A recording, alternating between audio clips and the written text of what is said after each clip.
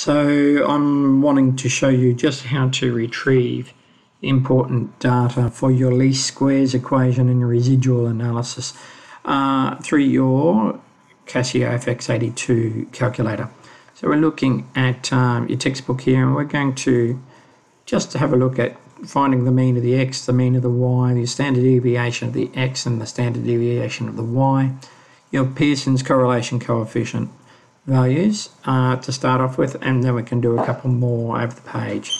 So we're going to look at this set of data here. So let's um, set up our, our mode into stat mode and uh, we're going with a linear equation so it's mode 2 and we will just need to enter the data into your calculator.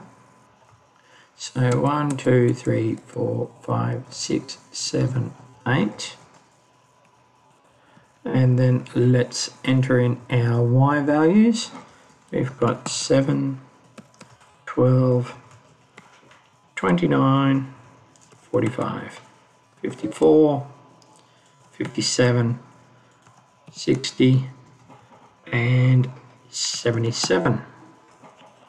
Okay, now we just recall that we need to uh, press AC, we've put all our data in, so we press AC and then we can just go into our retrieve our stat mode. So, so if we want to retrieve stats, um, the keylog's not being nice for me, but I can worry about that later. Um, we're just going to go shift one and uh, first of all we want to get a bunch of the variable data out so we should be able to get the these out of uh, number four so if we go mode 4, you can see here we've got the number of scores, well that'll be there. Uh, the mean of the x values, so well, that's the mean of that column. The mean of the y, that's that one. Now the standard deviation of the x, so that should be that one. And the standard deviation of the y. So let's retrieve a few of these. So um, I, maybe I should have just pressed them straight away. So the mean of the x values, 4.5. That's nice. Okay, shift 1 back to 4. Uh, that's the standard deviation of the x, so let's just press that and see. 2.449, yeah, that's matching up nicely. Shift 1, 4 again. Now, that's the mean of the y values. 42.625, that's nice.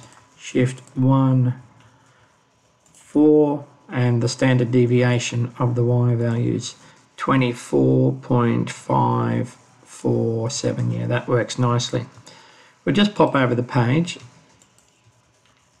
And uh, we can also retrieve our co correlation coefficient. We can also get our a value and our b value too. And this is where we go to shift 1 and we go to our regression. So we first of all retrieve uh, the correlation coefficient 0.978 yeah that will work. And let's go shift 1 and then we'll go to 5 um, let's retrieve our B first of all so that's that one. 9.78 uh, rounded off there yep. And uh, shift 1 uh, 5 and we'll go to 1 and uh, negative uh, 1.46 we're saying negative 1.5 here to one decimal place. Okay so that's pretty good